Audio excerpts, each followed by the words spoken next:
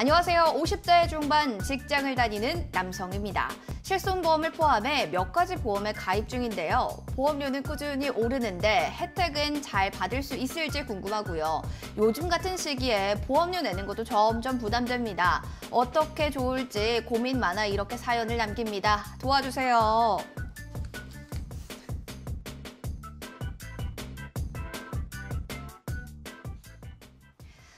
네, 50대 중반의 또 남성분이 사연을 주셨습니다. 아무래도 정년이 다가오니까 보험료가 좀 부담되시는 것 같아요. 좀 이해가 갑니다. 김경재 선생님, 이번 사연자분의 고민 내용 한 번씩 좀 짚어봐야 될 것 같은데 어떻게 좀 생각하세요? 네. 그 요즘 그 실손보험에 대한 보험료 갱신 폭탄, 뭐 즉 그 갱신보험료 인상에 대한 사례들이 뭐 신문 기사나 이런 것들을 통해서 자주 이제 언급이 되다 보니까 실손보험의 그 보험료에 대한 인상과 더불어서 또 코로나로 인한 경제적 타격으로 가입된 보험들을 다시 한번 좀 돌아보고 어, 또 아울러 관심을 갖는 사례들이 많아, 많아지고 있는데요. 이번 사연자님도 역시 한 번은 좀 경험해보고 고민해 보셨을 만한 사연입니다. 어, 갱신이 되면서 이제 점점 늘어나는 보험료 부담 그리고 어떤 보험을 가입했는지 내가 어떤 혜택을 받을 수 있는지 또 보험료 부담에 대한 해결은 가능한지 이런 여러 가지 고민들을 좀 가지고 사연을 남겨주셨는데요. 대체적으로 보면 보험 가입은 한 10에서 15년 정도 유지를 잘 하시는 편이었습니다. 다만 이제 가입한 보험에 크게 관심도 없었고요. 또 가입된 보험의 보장 내용에 대해서는 더더군다나 전혀 모르고 계신 상태였는데요. 실손 특약뿐이 아니라 기존의 특약들도 갱신 때마다 인상이 되는 형태로 가입이 되어 있다 보니까 이제 수차례 갱신이 되면서 보험료를 좀 점점 크게 납입하고 있는 그렇게 그렇게 되는 상황으로서 이 보험들을 계속 유지해야 되는지에 대한 고민이 좀 큰 상황이었습니다. 가장 큰 고민입니다. 보험료가 너무 부담돼서 계속 끌고 갈 수 있을지인 것 같네요. 본인의 보장 내용 전혀 좀 인지하지 못하고 계신 상황인 것 같은데 가입된 보험에 대한 내용을 좀 알아보겠습니다. 요즘 점점 멋있어지고 있는 임형묵 전문가님 알려주시죠. 네. 그 가입하신 보험은 총 3건으로 월 보험료 47만 원 정도 납부 중이셨는데요.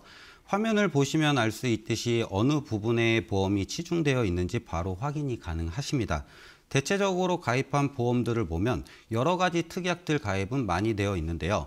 그 중에서도 가장 중요하다고 할 수 있는 핵심적인 보장을 설명드리자면 사망 보장으로는 일반 사망 시 5천만 원과 상해 사망 시 2억 원이 준비되어 있는데 CI 중심 보험이기 때문에 3대 질병 진단 시 사망 보험금은 변동이 되는 형태고요.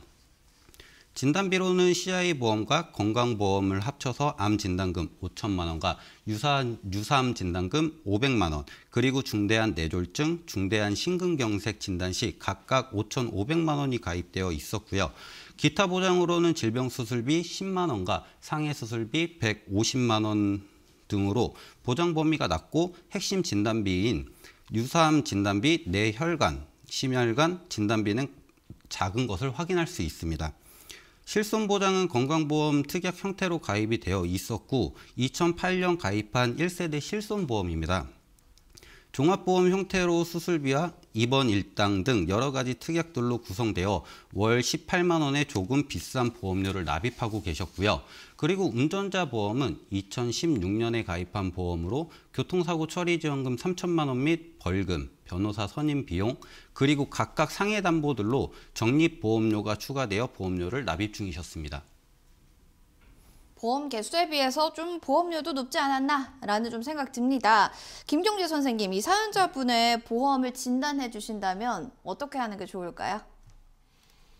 네, 오늘 그 우선 사연자님은 소개 때 말씀을 드렸다시피 보험료 인상으로 인한 그 보험료 부담 그리고 보장 내용에 대한 걱정이 좀 크셨는데요. 이 사연자님도 보시면 착한 실손 전환 제도를 이용한 그 실손보험 전환을 먼저 좀 고려하실 필요가 있겠고요. 또 CI보 종신보험의 경우에 이제 보장받을 확률이 아주 낮은 그 중대한 뇌졸중 그리고 중대한 급성 심근경색 진단비 이렇게 구성이 되어 있는데 월 보험료도 보시면 보장 대비 조금 과하게 불입 중이시고요. 특히나 이 사연자님의 경우에는 사망 보장보다는 진단금 등과 같은 이런 생존 시 보장 받을 수 있는 실질적인 보장에 더 관심이 좀 많은 상황이셨습니다. 그래서 50대 중반이시기 때문에 또 보장 확률을 또 이렇게 높이기 위해서는 리모델링을 통해서 어, 뇌혈관 질환 전체 그리고 심혈관 질환 전체에 대한 진단금 보장 확대가 좀 필요한 상태이고요. 또 유사함에 대해서도 보시면 일반암 못지않게 중요한 보장인데 금액이 좀 낮게 책정이 돼 있어서 보장 금액을 좀 더 높게 조정을 해야 될 필요가 있고요. 그리고 중요한 담보죠. 이 수술비 특약. 음, 실손보험만큼 중요한 담보임에도 불구하고 이 사연자님의 경우에는 질병 수술비가 10만 원밖에 되지 않는다는 점이 좀 문제였고요. 뒤에서 좀 자세하게 설명을 드리겠지만 어, 특히 사연자님의 경우에는 이 다빈도 수술에 대한 보장을 좀 확대하셔야 될 그런 연령대이시기 때문에 그 수술비 보장에 대한 리모델링 또한 또 필요하다고 하겠습니다. 사실 뭐 겉보기에는 문제가 없어 보이는데 자세히 들여다 보니까 문제점이 하나씩 발견이 됩니다. 자료를 보니까 운전자 보험에 대한 내용도 있습니다. 김경재 선생님 이에 대해서 좀 말씀 덧붙여 주실까요? 네, 그 운전자 보험은 이제 각종 그 상해 특약 상해 수술비, 뭐 골절 진단비, 기본적인 운전자 담보 이렇게 가입이 되어 있는데요. 문제는 적립보험료가 2만 2천 원이 보험료에 포함이 되어 있습니다. 그러다 보니까 이제 불필요하게 보험료가 높게 책정이 되어 있고요. 어, 만 원대로도 가능한 이 운전자 보험을 불필요하게 높은 보험료를 내게 된 원인이기도 하고요. 적립보험료가. 특히 운전자 보험의 경우에는 가입 시점이 2016년인데요. 앞서 제가 1교시 때 설명을 드린 대로 이 교통사고 처리 지원금하고 벌금 비용이 이 민식이법 적용 이전에 보장을 갖고 있는 상황이기 때문에 합의금을 좀 증액하시고 그리고 스쿨존 사고 시에 대비한 이런 벌금 관련된 보장 금액을 증액하실 필요가 좀 있겠고요. 그리고 교통사고 처리 지원금 관련해서는 2017년 3월 이전이냐 아니냐에 따라서 어, 처리 지원금의 지급 방식이 좀 차이가 있다고 말씀을 드렸었는데요.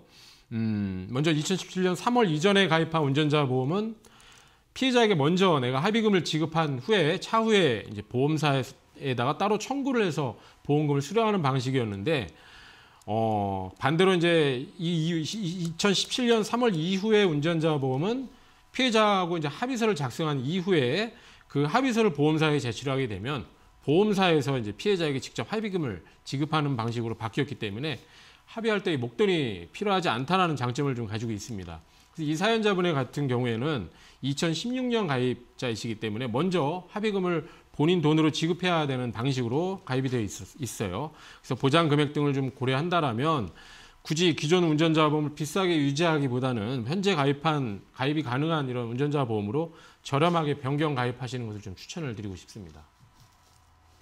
네, 운전자 보험에 대한 문제점까지 진단을 해봤습니다. 특히 수술비 특약 관련된 내용을 특히나 강조해 주셨는데요. 이명목 선생님, 이 수술비 특약 왜 중요한 거예요? 네. 그 사연자 분께 맞는 리모델링을 제안을 하다 보니까 여기에서 잠시 수술비에 대한 말씀을 드리겠는데요. 우선 화면을 보시는 바와 같이 수술비란 보험회사의 약관을 보시게 되면 의사에 의하여 치료가 필요하다고 인정되는 경우 의사의 관리하에 직접적인 치료 목적으로 의료기구를 사용하여 생체의 절단, 절제 등을 조작하는 것을 말을 합니다. 단 흡입, 천자 의료 행위에 대해서는 보상이 대, 제외된다는 점을 말씀드리고 싶은데요. 저는 수술비 보험은 보험의 건강 의료보험과도 같다라고 표현을 드리고 싶습니다. 그만큼 중요한 보험이라고 생각하시면 될 것 같습니다. 네, 알겠습니다. 자, 의료보험만큼이나 중요한 게 수술비 보험이다라고 설명을 해주셨는데요. 어떤 이유로 그만큼 중요한지 이야기 들어봐야겠습니다. 이명무 선생님 알려주세요. 네, 의료보험만큼 중요하다고 표현하는 이유는 보험회사의 실비라는 보험, 담보가 존재합니다. 하지만 100세까지 보험료를 납입해야 된다라는 부담과 매년 보험사의 손해율을 적용을 해요, 하여 그 보험료가 인상된다라는 단점을 가지고 있는 담보이기도 합니다. 경제 활동으로 여건이 되어 100세까지 납입할 수 있다면 노후의 진료비에 대한 부담은 없겠지만 하지만 60대 중반이 넘어가게 되면 10만 원이 넘어가는 보험료와 70세에 넘어가게 되면 경제활동이 없는 상태에서 20만 원 가까운 보험료를 납부하셔야 합니다. 그렇기 때문에 어쩔 수 없이 유지를 하고 싶어도 유지를 못하는 경우가 상당히 빈번하게 일어나고 있는데요. 어느 정도 나이가 들면 큰 병은 아니어도 다빈도 질환으로 인해서 잦은 치료와 수술이 늘어나고 있는 시점에 실비보험도 없고 실비보험이 없이 혜택을 받을 수 있는 보험이 바로 수술비 보험입니다. 그만큼 중요한 보험이라고 생각을 하는데요. 우리가 일상생활을 하면서 우연한 사고로 인해 수술 또는 유전, 질병으로 나타날 수 있는 다빈도 수술은 누구에게나 찾아올 수 있, 는 상황이 많다라고 생각을 하는데요. 당연 병원을 방문하시는 상황이 발생을 하지 않는 것이 가장 좋겠죠. 하지만 이렇게 수술을 하게 된다면 그리고 실비가 없다면 당연 진료비에 대한 비용 부담은 전부 본인의 몫으로 부담을 느끼는 상황들도 많이 발생하는 사례들이 있습니다. 또한 이제 노후에 노후 노화로 인해서 관절, 디스크 관련하여 발병률도 늘어날 텐데 약물 치료로만 한계가 있는 질병들은 수술로 치료를 하게 됩니다. 그리고 어린이들 경우 충수염 수술이라든지 탈장 수술, 상해 사고 즉 골절 사고에 대한 발생률이 높아 수술하는 사례들도 많이 있습니다. 그리고 3세대 실손보험은 1, 2세대 실손보험과 달리 급여 항목은 10%, 비급여 항목은 20%, MRI, 도수치료, 비급여 특약 같은 경우에는 30% 자기부담금이 존재하고 4세대 실손보험은 30%까지 공제되기 때문에 자기부담금을 보완해 줄 수 있는 보험이 또한 수술비 보험이라고 말씀드리고 싶습니다. 실비 보험의 유지가 힘들어진다 하더라도요. 이와 상관없이 혜택을 볼 수가 있고요. 또 수술 빈도가 많은 수술들을 보장한다라는 장점 뽑아주셨습니다. 이명국 선생님 구체적으로 어떤 수술들이 다빈도 수술에 속하나요? 네. 화면을 보시면 1위로는 백내장을 꼽고요. 2위로는 치액, 치질, 3위로는 일반 척추 수술, 4위로는 충수염 수술 등 질병 수술에 대한 순위를 보면 3대 질환으로 인한 수술보다는 일상생활을 일상생활을 살면서 발생할 수 있는 질환들이 더 많다는 걸 느꼈는데요. 이렇게 다빈도 수술의 순위가 올라가면 올라갈수록 수술비 보험에 대한 중요성은 또한 가볍게 생각하기에는 상당히 중요하다고 생각을 합니다. 만약 실비도 없는 상태에서 수술비까지 없다라면 의료비에 대한 부담은 상당히 커질 것이기 때문에 어, 그 수술비 보완에 대해서는 한 번쯤 꼭 고려를 해 보셨으면 합니다. 그 수술비 보험과 그러니까 실비 보험과 다르게 수술비 보험은 비갱신, 갱신형으로 선택이 가능하며 납입이 끝난 후에도 만기 시까지 보장을 받을 수 있다라는 장점을 가지고 있습니다. 수술비 보험의 경우에는 비갱신으로 가입 가능하다라고 하니 이 점 참고해 주시면 좋겠습니다. 이어서요, 김경재 선생님, 수술비 보험의 특약 종류에 대해서도 알아보고 싶습니다. 네, 수술비 그 보험은 여러 가지 특약들이 존재하는데요. 먼저 이제 질, 질병 수술비가 있고요. 상해 수술비 그리고 이제 종수술비라고 그래서 뭐 1종에서 5종 또는 최근에는 1종에서 7종으로 이렇게 분류된 수술비 항목이 있고요. 뭐, 뭐, 꽁꽁, 땡땡대 수술비, 요건 이제 뭐 32대, 뭐 80대 수술비 이런 식으로 이제 회사마다 좀 차이는 있는데요. 이 외에 이제 5대 질환과 관련된 수술비, 그리고 뇌혈관, 심혈관 질환과 같은 2대 진단에 대한 수술비, 그리고 암 수술비 이런 등등 다양하게 존재를 합니다. 뭐 각 특약별로 좀 간단히 설명을 드리면 먼저 질병 수술비 특약이 이제 가장 범위가 넓다고 보시면 되겠고요. 절제, 뭐 절단 여기에 속하는 수술은 전부 보상이 가능하다고 보시면 되겠고요. 상해 수술 비 특약이라는 것은 이제 빙판길에 뭐 넘어짐 사고라든가 교통사고, 뭐 낙상 사고, 그리고 낙하물에 의한 사고 이런 등으로 인해서 수술이 수술을 받을 때 보상이 가능하고요. 어, 종수술 비 특약은 간단히 설명드리면 이제 각 수술에 대한 위험도를 뭐 1단계에서 최대 7단계까지 이제 분류를 해서 각 종별로 수술비를 차등 지급하는 특약이고요. 암 수술 시에도 보상이 가능한 이런 특약이라고 보시면 되겠습니다. 이런 땡땡대 이런 수술비 특약은 뭐 이대 질환을 비롯해서 특정 질병 그리고 앞서 설명드린 이런 다빈도 질병에 대해서도 폭넓게 좀 수술비를 보장해주는 열거주의 형태라고 보시면 되겠고요. 이대 질환 수술비 특약은 이제 뇌혈관 허혈성 질환으로 인한 수술비를 보장해주는 특약입니다. 대표적으로 뭐 카테타라든가 스탠드 삽입 시술 이런 것들이 있죠. 진단금만큼 중요한 그 담보로 진단 시에 진단금은 한 번 지급되지만 수술 특약이라는 것은 가입 한도에서 수술할 때 매회 지급이 되기 때문에 이대 질환에 대한 니즈가 강하신 분들은 특히나 필수적으로 추천을 드리는 담보입니다. 그럼 마지막으로 이제 암 수술비 특약인데요. 암의 그 직접적인 치료 목적으로 시행되는 수술비에 대해서 보상을 하는 특약을 말하고요. 수술비 특약이라는 것은 이제 생명보험이냐 뭐 손해보험이냐에 따라서 수술비 특약 뭐 이런 약관 이런 것들이 좀 상이합니다. 그렇기 때문에 수술비 보험을 가입을 할 때는 나에게 맞는 맞춤 보험을 찾기 위해서 전문가에게 좀 도움을 청하시는 것이 좋겠다고 말씀을 드리겠습니다. 네, 알겠습니다. 수술비 보험에도 다양한 특약들이 있으니까요. 상황과 여건에 맞게끔 알차게 구성하시면 좋겠네요. 자, 이어서 이명목 선생님, 오늘 사연자의 리모델링 어떻게 도와주셨나요? 네. 먼저 사망금, 사망보험금에 대한 니즈가 약하신 상태이시기 때문에 기존 CI 종신보험을 가감하게 정리를 도와드리고요. 중요 진단금이 암, 이대의 진단비를 집중적으로 보장받을 수 있도록 진단비 관련 건강보험으로 대체해 드렸습니다. 더불어 보험료도 현실적으로 줄여드릴 수 있게 되었고요. 기존 실손보험이 포함된 건강보험 역시 실손보험을 현재 가입한 3세대 착한 실손으로 전환해 드린 후 담보 조정을 통해 보험료를 낮춰드린 후 추가적으로 수술비 집중해 보장을 받을 수 있는 건강보험으로 추가 가입을 준비시켜 드려 보험료는 낮춰드리고 실질적인 보장을 받을 수 있는 방향으로 변경 가입을 도와드렸고요. 운전자 보험도 앞서 말씀드린 대로 기존 운전자 보험에 적립금, 적립보험료가 가다로 부과되어 있는 상태인데다 기존의 필수 담보들인 교통사고 처리 지원금을 비롯한 벌금, 변호사 선임비 등 현실적으로 보장받을 수 있도록 변경하여 재가입을 시켜드림으로써 보험료를 아주 저렴하게 도와드렸습니다.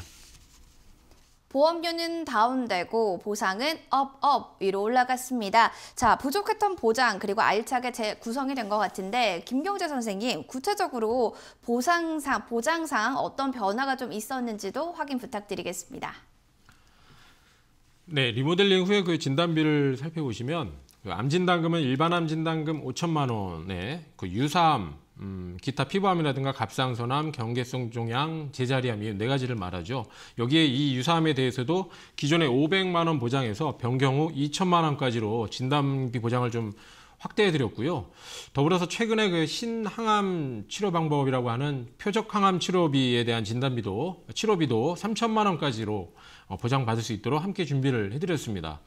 그리고 이제 이대 진단비에 대해서도 보시면 기존의 CI 보험에서 중대한 뇌졸중 또 중대한 급성 심근경색 보장 범위를 좀 벗어나서 전체 뇌혈관 질환과 또 전체 심혈관 질환 진단비에 대해서 무려 2천만 원까지 진단비를 보장받을 수 있도록 준비를 해드렸고요. 특히 이대 질병에 대한 수술 시 천만 원까지 따로 별도로 수술비를 매회 보장을 받을 수 있도록 도움을 드렸습니다. 그리고 이제 향후 실손보험을 대체 가능한 보험으로 중요한 부분으로 말씀드렸던 이 수술비인데요. 기존에는 이제 질병 수술비가 고작 그 10만 원 수준으로 턱없이 부족한 수준이었는데 이번 기회에 그 리모델링을 통해서 수술비에 대한 보장을 대폭 확대를 해드렸습니다. 특히 뭐 용종 제거라든가 뭐 백내장, 치액, 관절 수술 등과 같은 이런 다빈도 수술에 대한 보장을 좀 적극적으로 확대해 드렸고요. 또 확, 그 향후에 발생할 수 있는 이런 성인 각종 성인 질환에 대해서도 일회성 지급 방식이 아닌 매 수술 시마다 매회 지급이 가능한 그런 형태로 가입을 좀 도와드렸고요. 종수술도 1종에서 7종까지 좀 확대, 좀 폭넓게 준비를 해드림으로써 질병 수술에 대한 폭넓은 보장을 받을 수 있도록 그렇게 준비를 해드렸습니다. 여기서 좀 듣다 보니까 궁금한 점이 있습니다. 어, 리모델링 보험료 차이는 총 얼마 정도 절약이 된 건가? 가격대가 중요하잖아요. 이명묵 전문가님 어떻게 되나요? 네. 전체적으로 보험료 수준은 기존의 47만 원에서 리모델링 후 32만 원 수준으로 월 약 15만 원 정도 절약을 해 드렸고요. 기존 보험료를 유지 시 총 납입해야 될 보험료가 거의 1억 가까이 되었는데요. 실손보험 갱신 시 인상되는 부분을 고려하지 않았기 때문에 그 부분은 조금 더 크다라고 생각을 해 주시면 될 것 같습니다. 이번에 리모델링을 하고 나서 총 납입할 보험료도 6,400만 원으로 6,400만 원 수준으로 무려 3천만 원 넘게 보험료를 줄여드릴 수 있었습니다. 제, 가 재밌는 얘기 하나 그 드리자면 사연자님께서도 요번에 리모델링 후 남는 비용으로 건강을 위해 월 15만 원씩 헬스클럽에 가입을 하셨다라고 하더라고요. 그래서 보장은 넓히고 보험료도 줄일 수 있게 돼서 너무 만족해 하시면서 매우 흡족해 하셨던 사례로 저희도 상담 완료 후 큰 성취감을 가질 수 있었던 사연입니다. 아울러 비슷한 사례는 무수히 많기 때문에 이번 기회에 시청자님들도 적극적으로 리모델링을 검토 받아보시고 사연자님처럼 건강과 비용 절감이라는 두 마리 토끼를 잡아보시기를 바랍니다.